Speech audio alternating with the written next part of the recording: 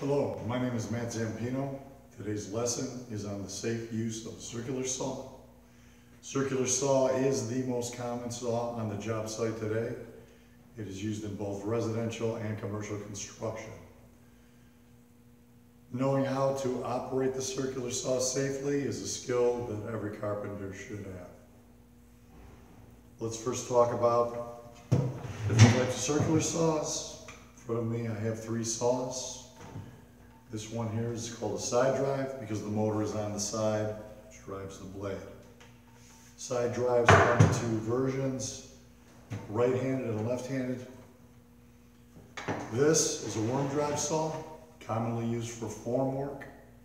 It's very durable and it has a lot of torque.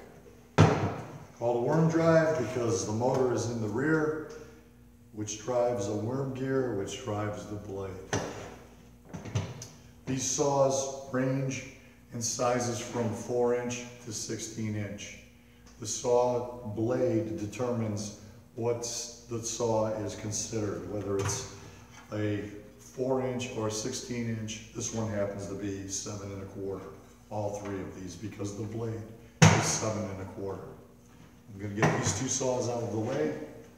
Them. Let's talk about the parts of a circular saw. First, we have the motor. We have the shoe. On the shoe, we have a front clamping screw, which will hold a rip guide. We have the depth adjustment knob found here on the side, which allows the saw blade to penetrate to different depths. You lock it, it locks the base into place. We have the trigger. Pulling the trigger, sends power to the motor, which gets the saw running. Bevel adjustment knob, which allows you to set various angles from 50 degrees all the way down to zero degrees. Saw has a lower blade guard, which you can retract with a retracting lever. This is the retracting lever. Has an upper guard, upper blade guard. Has a lock nut, which holds the blade on, locks that blade into place. And of course, power drill with a plug. Let's talk about some of the safety features we need to know. First off, we need to know about PPE. We need to have safety glasses and hearing protection. You should make sure you have no loose jewelry, such as bracelets, chains that as bending over could be caught in moving parts of the motor. Loose clothing, make sure your shirts are tucked in, sweatshirts with the cord that goes in the sweatshirt, make sure that is tucked away. Loose hair, if you have long hair, you need to tie it back and tuck it inside your shirt so it can't get caught in the moving parts of the saw. okay, let's inspect the saw. First off, we need to make sure that the saw is unplugged. Start off by inspecting the blade. You want to rotate the blade slowly, looking to make sure that all the carbide teeth are intact. This one looks good. Now I'm going to inspect the, the power cord. Inspect the power cord by placing the saw in this position. Take the cord out and slowly work your way over the cord, looking to see if the insulation is torn or cut, exposing any bared wires. I'm doing this by feel and also by sight.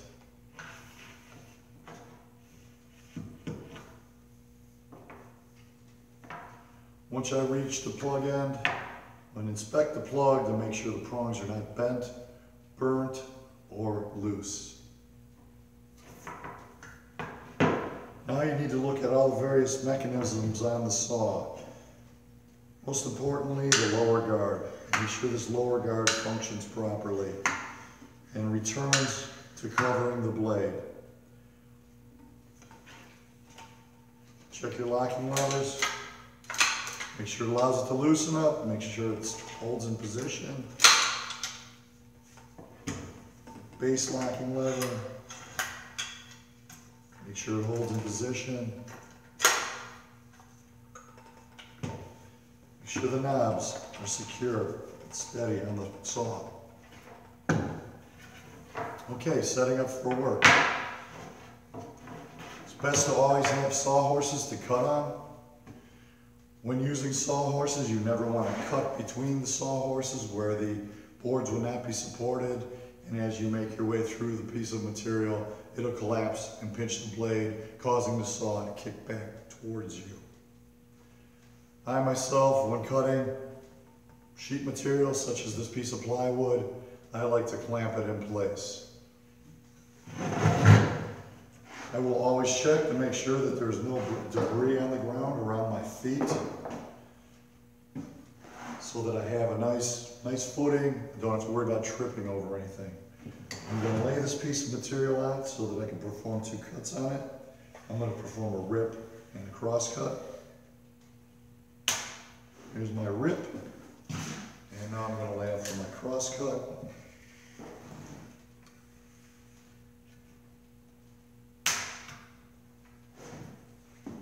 Then I'm then going to place the piece of material in such a way that I will be able to access it with the saw comfortably and be able to perform the cut that I need and have it come out accurately. As I said before, I like to clamp my material into place. This way I am able to use both hands on the saw and I don't need to worry about whether the material is going to move on me, uh, causing me to perform a bad cut.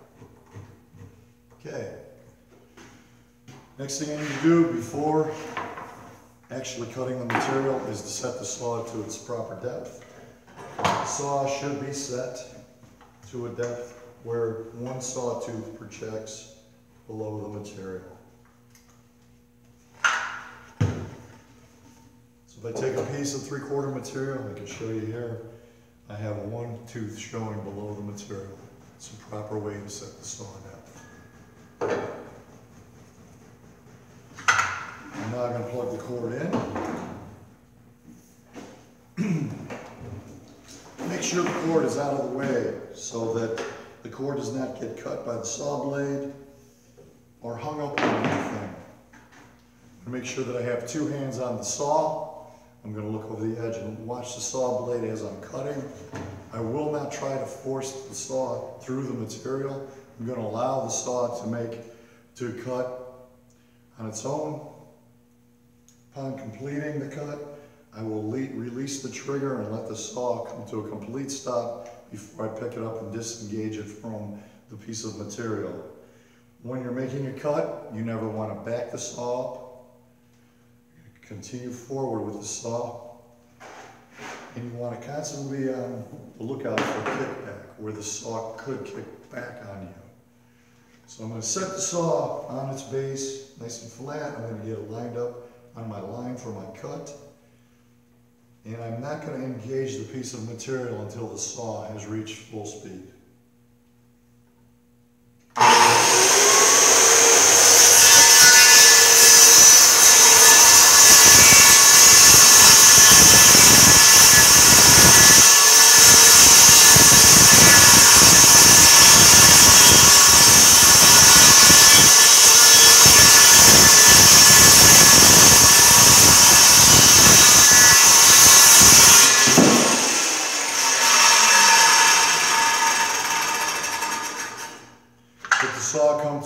Stop. I want to remove any debris that be around my feet that could cause me to trip over the material.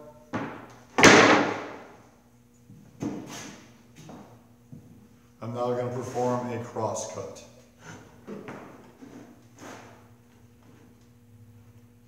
Again, saw is flat on the base, stable. I have good footing. My cord is not caught on anything, it's not in the way of my saw. I'm going to engage the piece of material once the saw has reached full speed.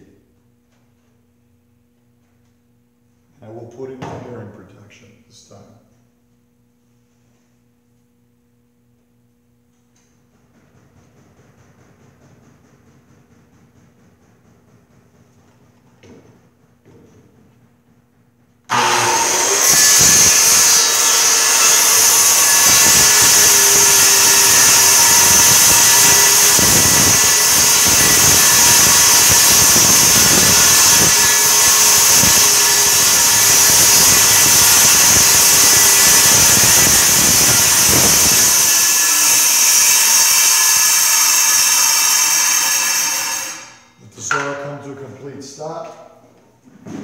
Before I set it down, since I'm not gonna be using the saw, I'm gonna unplug it.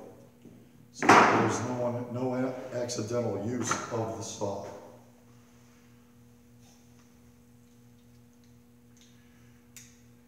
Okay, at this point, you should all be able to use a circular saw safely. Congratulations on your newly acquired skill. This is a uh, skill that you will use the rest of your career. Thank you for your attention.